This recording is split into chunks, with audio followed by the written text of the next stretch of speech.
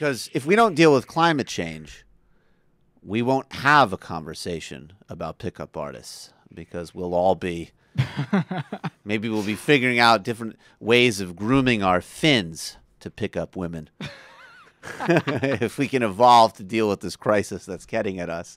Um, but look, uh, President Obama's EPA today uh, has announced what are very significant new uh, regulations on carbon. The Environmental Protection Agency unveiled new standards today that will be calling for a 30% cut in carbon emissions from power plants by the year uh, 2030. Now, you know, this is significant in a couple of ways. And at this point, we have to acknowledge that President Obama, after, you know, Congress did not pass his original version of cap and trade during the first, uh, I believe it was in 2010. It was before the midterm. So in his first term, obviously, and when Democrats still ran Congress, uh, cap and trade failed to pass. Since then, very quietly, with new rules on efficiency standards for cars, with bringing carbon under the uh, umbrella of the Clean Air Act and what the kind of the EPA can regulate unilaterally, President Obama has actually been making some very, very significant moves on climate. And if these rules kick in as they're planned on kicking in and they actually happen, he will be very close towards, and if not completely fulfilling, the commitments he made to cut uh, U.S. carbon emissions, uh, the same commitment that he made uh, in, in Copenhagen in the climate summit in uh, 2010. So these are very, very significant. And they definitely, you know, again, it's not, they're not quote unquote killing coal, but it certainly is going to be expediting the process of phasing out coal, which frankly, we all know is necessary if we're going to have a serious uh, climate strategy. Um, the rules will have a great deal of flexibility in terms of how states implement them. Uh, there's obviously a significant reaction on the right.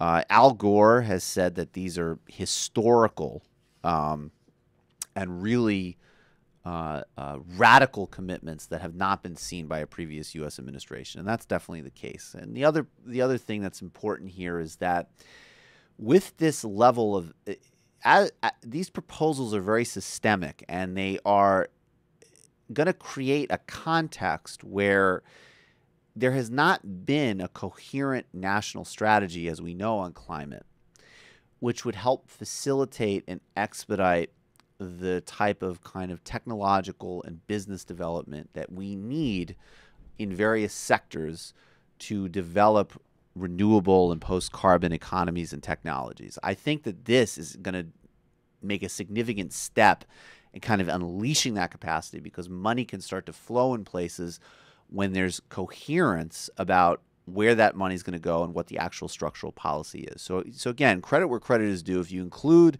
the investments in renewables in the stimulus, and you look at the ruling on car efficiencies, and now this, you have to give President Obama a lot of credit. Now, there's two important caveats here. One of the reasons that he's been able to start moving aggressively against coal uh, and the and the sort of context for cutting these emissions and even some of the reasons that emissions have been falling is because we have been uh, moving and obviously aggressively exploiting natural gas and the obama administration has been tremendously in favor uh, and pushed uh, natural gas uh, exploration not only in the united states but in fact globally uh, which I talked about with Steve Horn several months ago.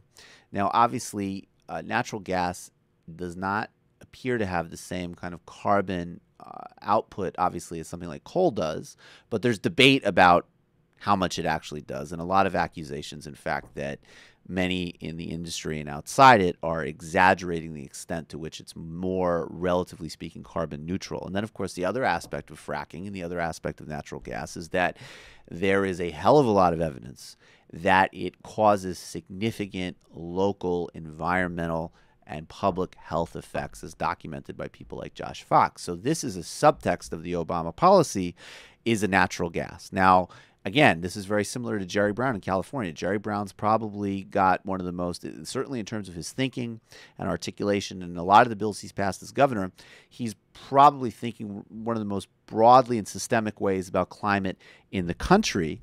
And at the same time, he's angered a lot of people in California because he's been quite pro fracking and quite pro natural gas.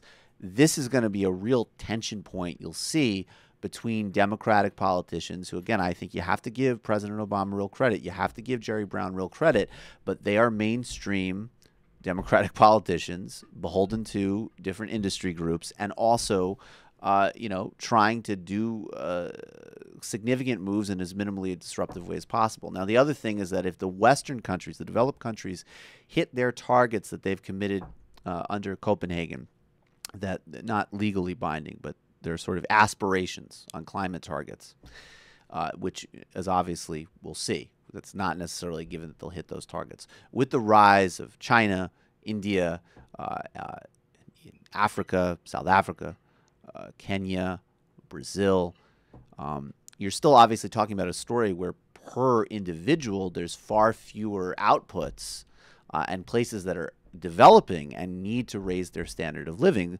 But again, the objective reality is is that if every if there is the type of vehicle activity on the road in China that there is in the United States per capita, the you know we will literally all suffocate to death.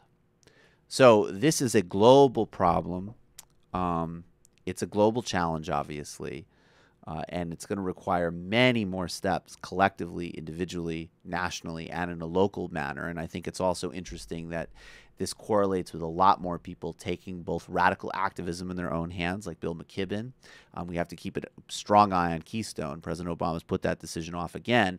But again, if he doesn't reject Keystone, that undermines radically all of this. If he rejects Keystone, that will be another significant step um, in his ending up with a strong record on climate. Uh, but also uh, people engaging locally in terms of building sustainable local economies, investing in local agriculture, uh, moving to less car dependent ways of living. All of this stuff obviously uh, is synergistic, even if it's not formally synergistic. So, very, very significant announcement.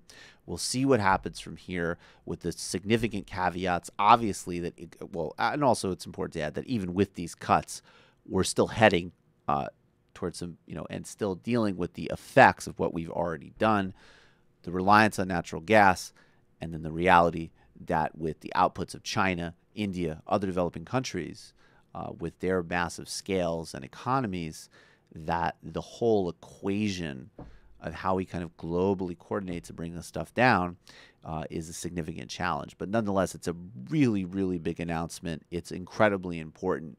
Uh, and again, this is the classic case of, right, this is why you would vote for President Obama over Mitt Romney. Not because President Obama is great and the best thing in the world and there isn't a million things to object to, but it doesn't get realer than this. You are not going to get this type of cut in carbon emissions directed by the president and the EPA under President Romney or any Republican. It's not going to happen. There's a real difference. Uh, the president deserves a lot of credit, and he also deserves a lot of uh, wariness and keeping an eye on him on other things.